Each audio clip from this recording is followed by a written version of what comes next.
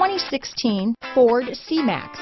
The Ford C-Max was initially only available in Europe, but has found its way to the U.S. in 2012. With folding seats and ample cargo room, the C-Max is available for almost any need. The style is what will catch you and the mileage will surprise you. This vehicle has less than 100 miles. This beauty is sure to make you the talk of the neighborhood, so call or drop in for a test drive today.